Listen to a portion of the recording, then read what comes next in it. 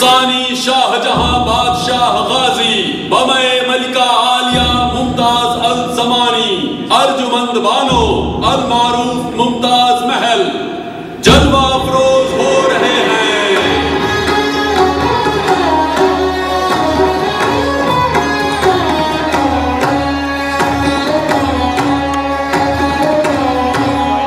इजाज़त है लाल खां कलावंत आज कोई ऐसा नगमा, ऐसा साज छेड़ो के सारा माहौल अश अश कर उठे। आज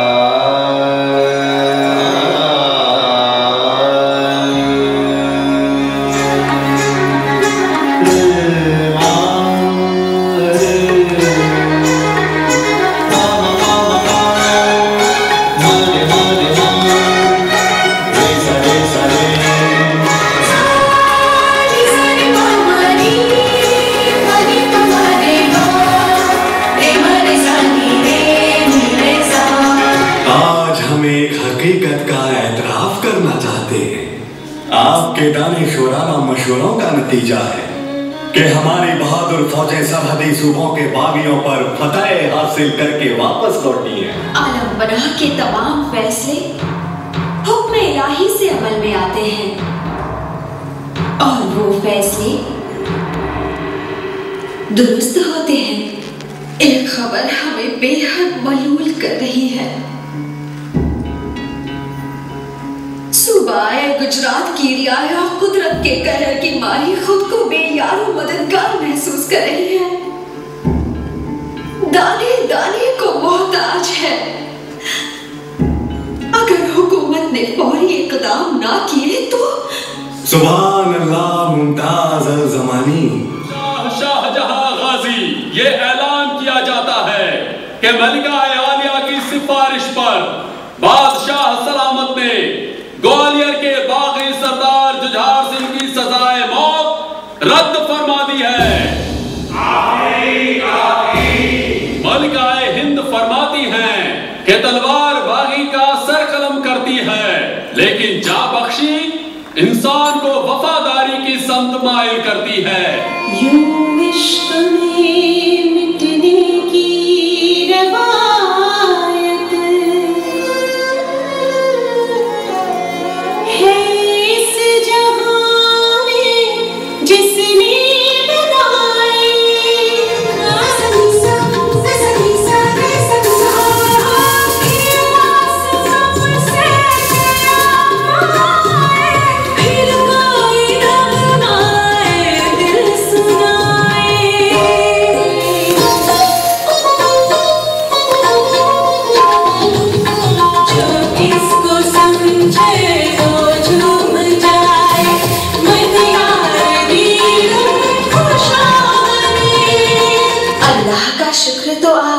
हर रोज अदा करते हैं।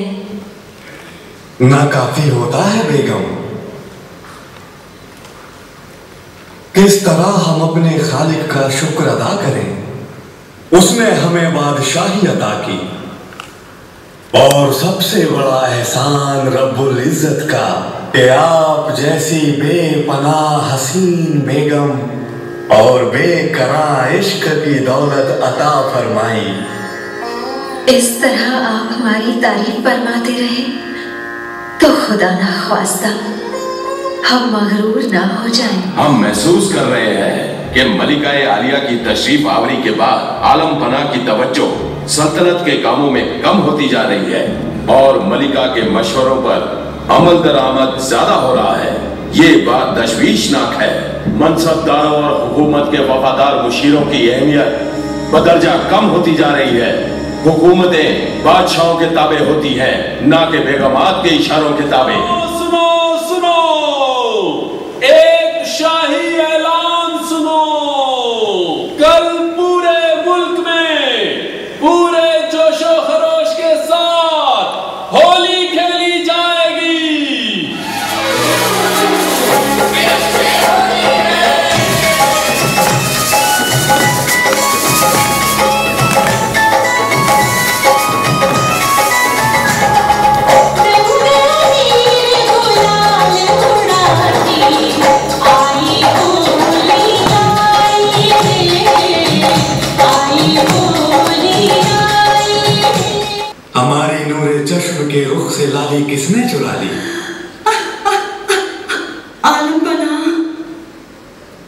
नसीब दुश्मना। मलिका आलिया की तबीयत बेहद नासाज है।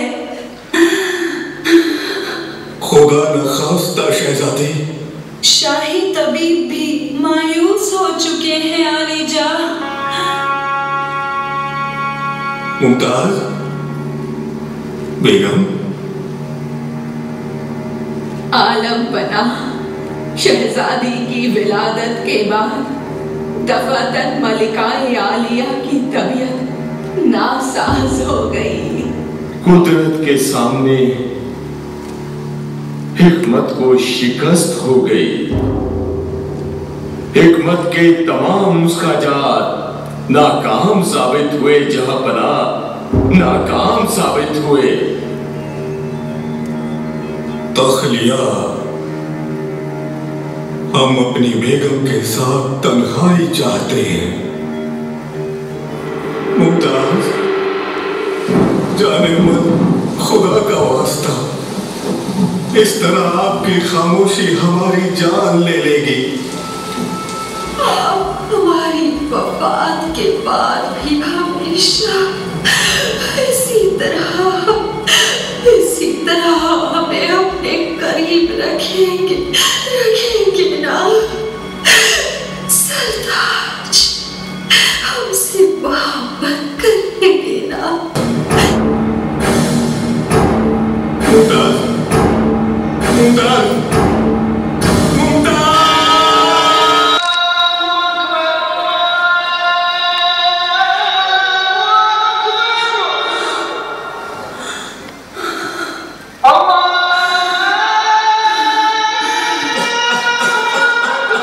ये मौत भी अजब शय है।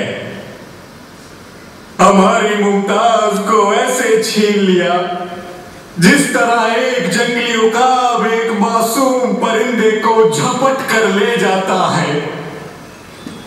आज आज हम खुद को बेपनाह बेबस और तन्हा महसूस कर रहे हैं। एक शहनशाह अपनी रियाया की जानिब बेनियासी अख्तियार कर ले।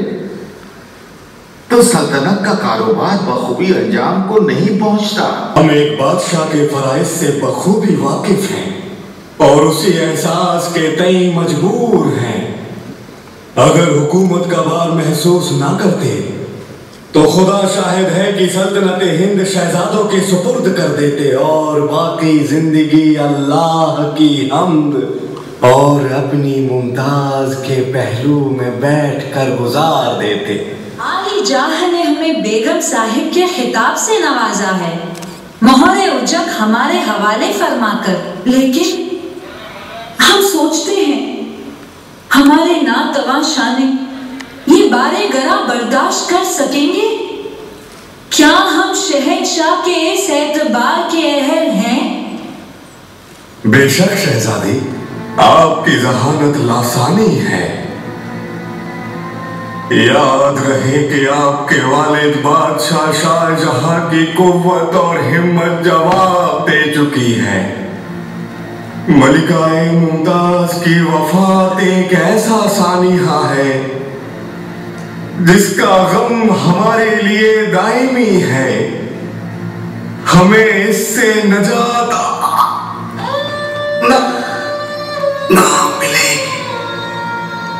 आली जाह के हुक्म के मुताबिक उस्ताद अहमद लाहौरी खत्तात अमानत खान शिराजी को तलब किया जा चुका है।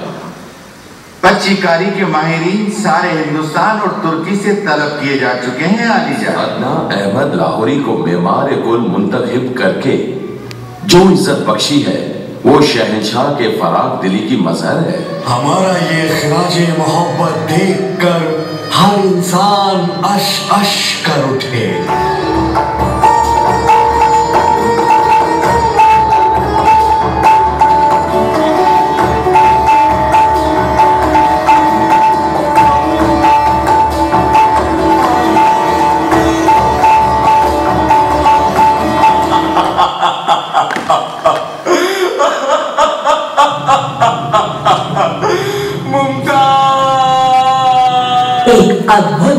कहानी का अंत।